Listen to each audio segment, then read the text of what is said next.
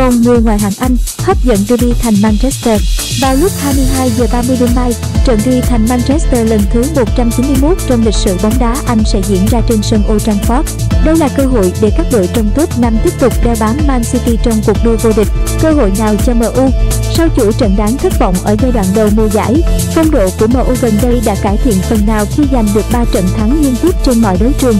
Qua đó, giúp cho tinh thần các cầu thủ MU tăng cao trước khi bước vào trận đấu với Man City. Trong khi đó, Man City dù vẫn đang nằm trong nhóm dẫn đầu giải ngoại hạng Anh nhưng thật khó để nói họ đã đạt được phong độ tốt nhất. Chuỗi ba trận thua khi vắng Rory là minh chứng rõ nét nhất cho sự bất ổn đang hiện diện tại sân Etihad. Dù đây chưa phải là một Man City mạnh mẽ nhất nhưng cũng không có nghĩa quỷ đỏ sẽ có được chiến thắng dễ dàng. MU hiện tại vẫn còn nhiều bất ổn bất chấp những kết quả khả quan vừa qua.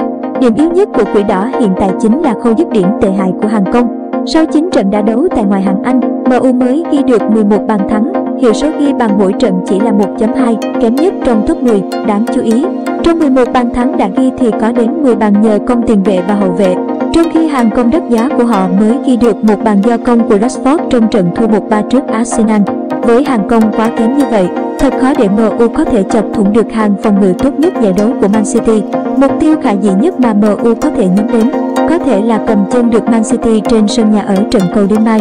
Còn với Man City, việc thiếu vắng trụ cột Kevin De Bruyne do chấn thương đã ảnh hưởng rất nhiều đến phong độ ghi bàn của siêu tiền đạo Erling Haaland.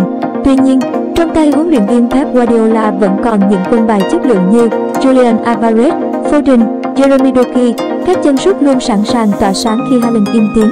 Ngoài ra, hàng phòng ngự được tổ chức tốt vẫn là điểm tựa vững chắc giúp Man City giành chiến thắng trong thời gian gần đây.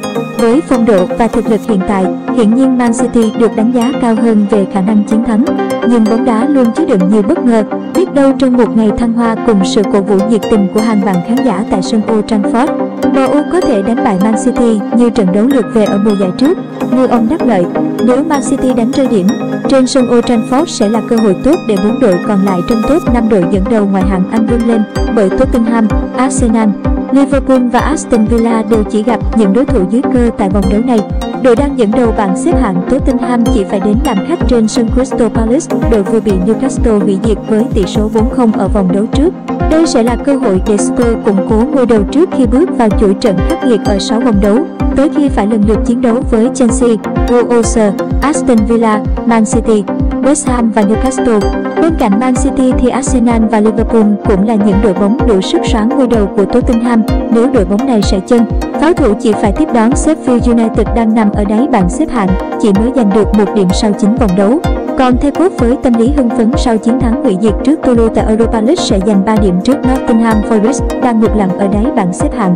Người ô Aston Villa cũng sẽ có trận cầu được dự đoán dễ dàng trước ứng cử viên xuống hạng Luton Town.